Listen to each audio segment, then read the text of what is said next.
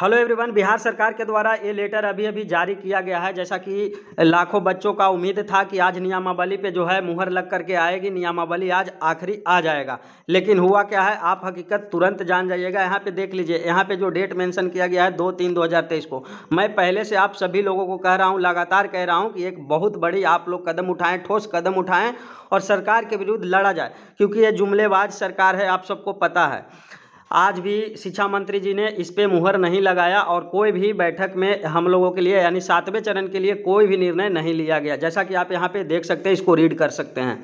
मैं इसको पूरा रीड नहीं करूँगा, आप लोग कर लीजिएगा वीडियो को रोक करके। यहाँ पे लिखा गया है, प्रेषक शाहजहाँ, उप सचिव, सेवा में महालेखाकार, बिहार, पटना। यहाँ विषय में जो दिया गया है आपका, राज्य के प्रारंभिक एवं मध्य विद्यालयों में नियोजित शिक्षकों के लिए यूटीआई के द्वारा प्रारंभ की गई।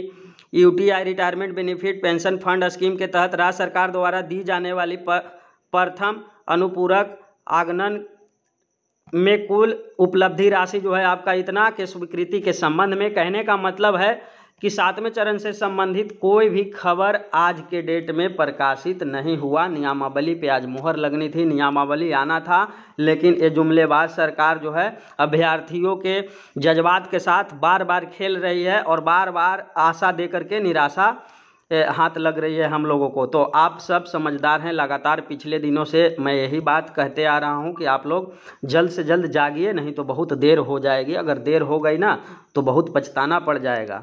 तो थैंक यू दोस्तों, हम मिलते हैं नेक्स्ट वीडियो में। नेक्स्ट अपडेट के साथ वेट कीजिए। अगर कोई भी अपडेट आता है तो सबसे पहले मैं आप तक पहुँचाने का कार्य करूँगा। धन्यवाद।